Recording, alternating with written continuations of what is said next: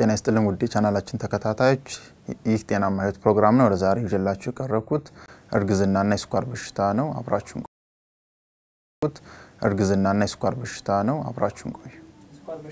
የስኳር በሽታ እንደ አጠቃላይ ስናየው ከዚህ በፊት discuss እንዳደረግነው በሁለት አይነት ምክንያት ሊከሰት የሚችል ወይም ደግሞ አይነት አንድና አይነት ሁለት ብለን የምናስበው አይነት የስኳር በሽታ ችግር ሲሆን መነሻውም አንደኛ የኢንሱሊን በሰውነታችን ውስጥ የኢንሱሊን እጥረት ሲከሰት አይነት አንድ የምንለው አይነት ነው። የኢንሱሊን ሁኔታ ደግሞ normal ሆኖ ወይም ደግሞ መጠኑ ጤናማ ሆኖ ነገር ግን ሰውነታችን ላይ resistance ወይም ደግሞ ኢንሱሊን የመቀበል chance ኡ ሲቀንስ ደግሞ አይነት ሁለት የምንለው የስኳር በሽታ አይነት ይከሰታል ማለት ነው። ወደ እርግዝና በምናይበት ሰዓት ከ14 percent አካባቢ የሚሆኑ እርግዝናዎች በስኳር በሽታ ምክንያት ለተለያየ ነገሮች ይጋለጣሉ ወይም ደግሞ complication የምንለው ነገር happen ያደርጋል ማለት ነው። 90 percent ኡ የሚሆኑት ደግሞ ከዚህ ውስጥ በምናይበት ሰዓት በእርግዝና ብቻ ወይም ደግሞ በእርግዝና ምክንያት የተከሰተ የስኳር በሽታ ተጠቂዎች ናቸው ማለት ነው። ወይም በእንግሊዝኛው GDM ብለን ወይም gestational diabetic mellitus ብለን የምንጠራው በሽታ ነው ማለት ነው። ወይም በእንግሊዝኛው GDM ብለን ወይም gestational diabetic mellitus ብለን የምንጠራው በሽታ ነው ማለት ነው።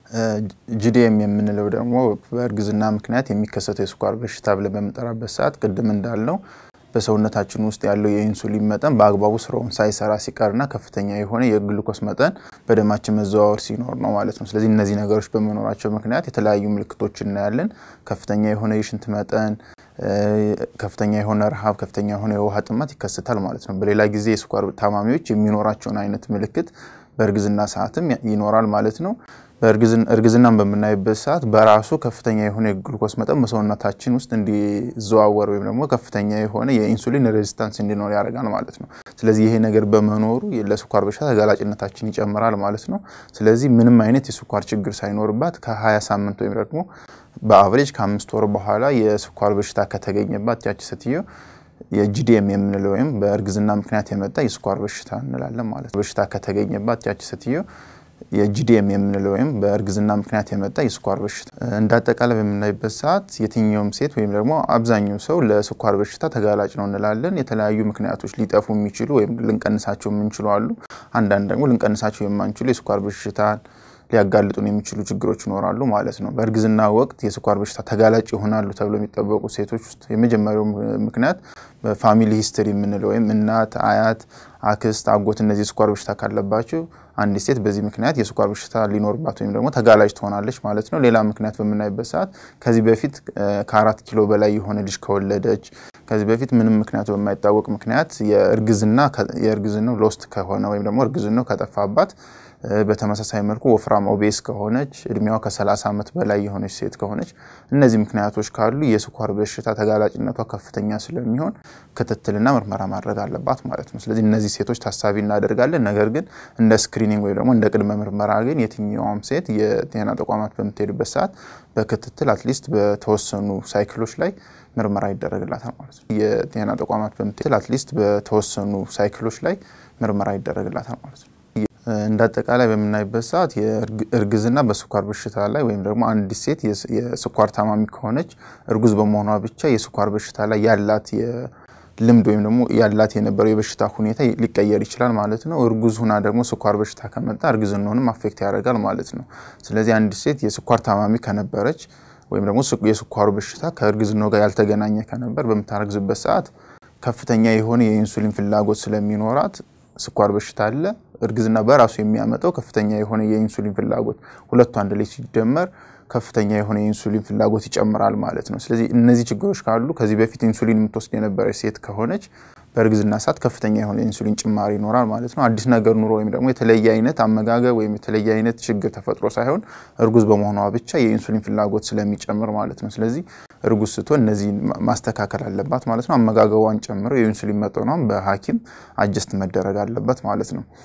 ነገር ግን ኪኒን የምትጠቀም ወይም ደግሞ በተለይ type two የምንለው አይነት ሁለት የምንለው የስኳር በሽታ አይነት ከነበረና ኪኒን ስትጠቀም የነበረች እናት ከሆነች ግን ወደ ኢንሱሊን መቀየር አለበት ማለት ነው። አንዲት ሴት እርጉዝ ስትሆን የስኳር ታማሚ ከነበረች ኪኒኑን ሳይሆን መውሰድ ያለባት ወደ መርፌ መቀየር አለባት ማለት ነው። ስለዚህ እርግዝናው እስከሚጠፋ ኢንሱሊን adjust ተደርጎ አስፈላጊ መጠን ላይ እስከሚባል ድረስ ኢንሱሊኑ መስተካከል አለበት ማለት ነው።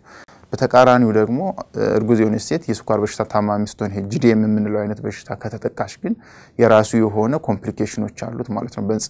በጽንሱ ላይም በእናቲቱም የራሱ የሆነ ችግር ይፈጥራል ማለት ነው አሉት ማለት ነው። በጽንሱ ላይም በእናቲቱም የራሱ የሆነ ችግር ማለት ነው። በጽንሲቱም ቅድም እንዳየነው የእርግዝና በራሱ የስኳር በሽታ ላይ የሚያሳድረውን ተጽዕኖ አይተናል። በተቃራኒው ደግሞ የስኳር በሽታ በእርግዝና ላይ የሚለውን ተጽዕኖ በምናይበት ሰዓት በዋናነት በሶስት እንከፍለዋለን። በእርግዝና ወቅት በወሊድና ከድህረ ወሊድ ወይም ከወሊድ በኋላ ያለውን ጊዜ በምናይበት ሰዓት ማለት ነው። በእርግዝና ወቅት የተለያዩ አይነት ተጽዕኖች ይኖሩታል። የመጀመሪያው እንደ ማንኛውም የስኳር ታማሚ የስኳር ታማሚ የሆነ ሰው ለኢንፌክሽን ይጋለጣል። ለተለያዩ ቁስሎች በቀላሉ ከተጋለጠ እነዛ ቁስሎች የመመርቀዝና ወደ ኢንፌክሽን ደረጃ ከፍ የማለት ደረጃቸው እየጨመረ ይመጣል ማለት ነው። ስለዚህ ለእነዚህ ነገሮች ተጋላጭ ይሆናል። ከፍተኛ የሆነ የኪሎ መጨመር በጽንሱ ላይ ስለሚኖር በብዛት የስኳር ታማሚዎች ከሆኑ አራት ኪሎና እዛ በላይ ሊወልዱ ይችላሉ ማለት ነው። ስለዚህ ከፍተኛ የሆነ የጽንስ እድገት በመኖሩ በተያያዥነትም የጽንሱ መጠን ወይም ደግሞ ማህፀን በምናይበት ሰዓት እንዲጨምር ያደርገዋል ማለት ነው። ወይም polyhydramnios የምንለው የእንሽርቷ ከፍተኛ መጠን መኖሩ አንዱ የስኳር ታማሚ በመሆኗ ምክንያት የሚመጣ ነገር ነው። አንዳንዴ ደግሞ ጽንስ መውረድ ወይም abortion የምንለው ሊከሰት ይችላል።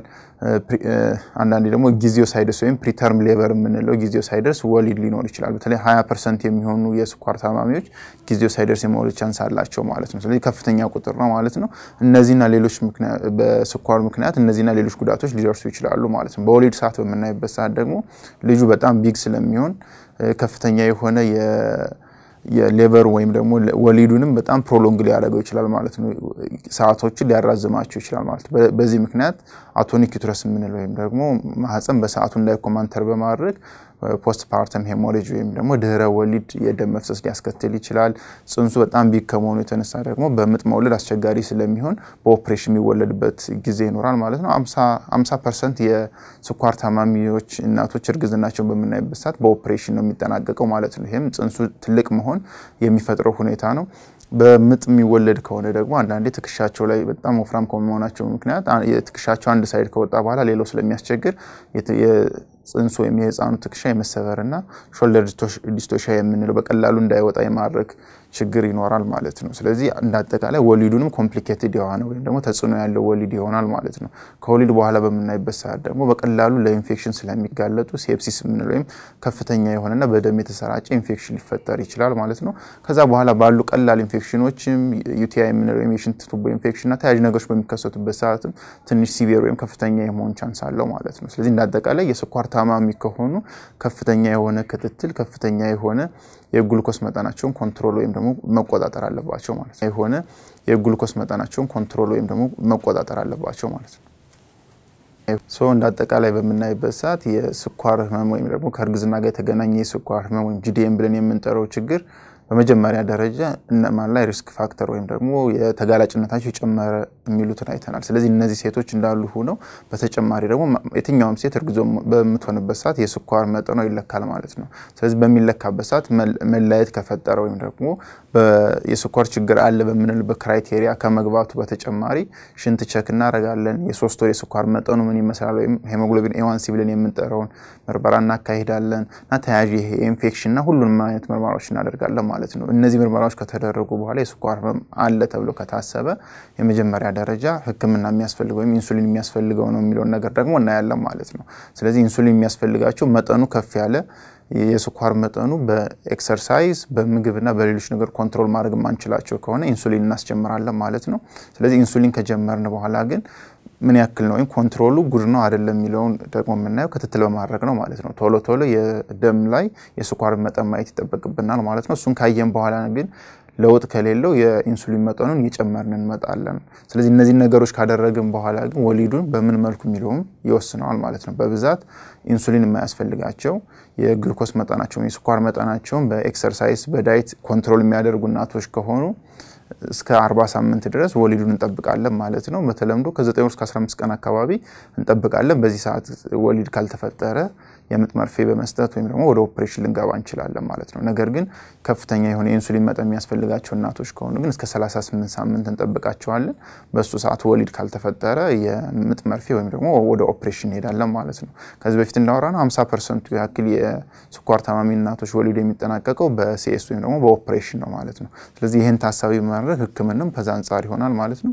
ልክ እናት ከወለደች በኋላ ግን ለእሷም ለልጁም ያለው ህክምና ይቀጥላል ማለት ነው። ለእሷም የስኳር መጠኗን control ለማድረግ ኦፕሬሽን የምትገባ ከሆነ ወይም ምጥ ከጀመራት የማታውን መጠን ትወስዳለች። ጠዋት ግን አትወስድም። ቁርስና የጠዋት መርፌውን አትወስድም ማለት ነው። ስለዚህ የጠዋቱን skip በማድረግ follow እናደርጋታለን ማለት ነው። ኦፕሬሽንም ላይ ከሆነች ወሊድ ምጥም ላይ ከሆነ ማለት ነው። ጽንሱም ደግሞ ከተወለደ በኋላ የራሱ የሆነ care ያስፈልገዋል ማለት ነው። ምክንያቱም ከእናቲቱ ከፍተኛ የሆነ የስኳር መጠን ስለለመደ ሲወጣ የስኳር መጠን ማነስ ያጋጥመዋል ማለት ነው። ስለዚህ በብዛት የስኳር ታማሚ እናቶች ቤት በሚወልዱበት ሰዓት ለሞት የህፃናት ሞት የሚያስከትለው ከፍተኛ የሆነ የስኳር መጠን ችግር ስለሚከሰት ማነስ ችግር ስለሚከሰት ነው። ስለዚህ እነዚህ ህጻናት at least ለ24 ሰዓት ከተቻለ ለሁለት ቀን በደንብ በሆስፒታል setup ሆኖ follow እየተደረጉ የስኳር መጠናቸው ይታያል። ቀጣይነት ሊያስከትለው የሚችለው የራሱ ጉዳት አለ ብለናል። ስለዚህ እናቲቱ ላይ ቅድም የጠቀስናቸው ችግሮች እንዳሉ ሆኖ ጽንሱ ላይ ደግሞ ወደፊት የስኳር በሽታ ታማሚ ሊሆን ይችላል። በተያያዥነት በጣም obese የሆነ ወይም ትልቅ የሆነ ልጅ ሊፈጠር ይችላል። ከፍተኛ የሆነ የስኳር መጠን ችግር ከነበር በእናቲቱ በተለይ የስኳር በሽታ ተጋላጭነቱን ይጨምረዋል ማለት ነው። እናቲቱ ብቻ ስኳር ታማሚ ከሆነች ከመቶ ሶስት ህጻናት የስኳር ታማሚ የመሆን chance ኣቸው ከፍተኛ ነው። አባትየው ደግሞ የስኳር ታማሚ ከሆነ አባት ብቻ ከሆነ ስድስት percent የስኳር ታማሚ የመሆን chance ከፍተኛ ነው ማለት ነው። ሁለቱም እናትም አባትም የስኳር ታማሚ ከሆኑ ደግሞ ከፍተኛ የሆነ የስኳር ታማሚ የመሆን chance ኡን የልጁን ይጨምረዋል ማለት ነው። ስለዚህ እነዚህ ነገሮች ስላሉ ከወሊድ በፊትም ከወሊድ በኋላም በወሊድ ጊዜም ክትትል ያስፈልጋል ማለት ነው። እንደ አጠቃላይ እናቲቱ ደግሞ እርጉዝ በሆነችበት ሰዓት ከደም ምርመራ ውጭ ደግሞ አልትራሳውንድ ከተቻለ ከ20 ሳምንት በኋላ በየአንዳንድ ወሩ አልትራሳውንድ መሰራት ያስፈልጋል ማለት ነው። ይሄ የሆነበት ምክንያት የስኳር ታማሚ የሆነች እናት ልጅ የመውለድ chance ኧዋ ወይም ደግሞ ጤናማ ልጅ የመውለድ chance ኧዋን ስለሚቀንሰው ማለት ነው። ስለዚህ ከመቶ እርግዝናዎች ስድስቱ እርግዝናዎች እናቲቱ ስኳር ታማሚ በመሆኗ ምክንያት የ congenital malformation የምንለው ሲወለዱ የሆነ የሰውነታቸው አካል ላይ ጉዳት ደርሶ ይወለዳሉ ማለት ነው። ስለዚህ እነዚህን ሁሉ control ለማድረግ ጤናማ ልጅ ነው አይደለም፣ በጊዜ መወለድ ወይስ አለበት የለበት የሚለውን ነገሮች ማየት ስለሚገባን ከተቻለ በአንዳንድ ወር ልዩነት አልትራሳውንድ ያስፈልጋል ማለት ነው። ለዛሬ የተወያየንበት ርዕስ የስኳር ህመምና እርግዝና ነበር። ጥያቄና አስተያየት ካላችሁ inbox አድርጉልን። እስከዛው ቸር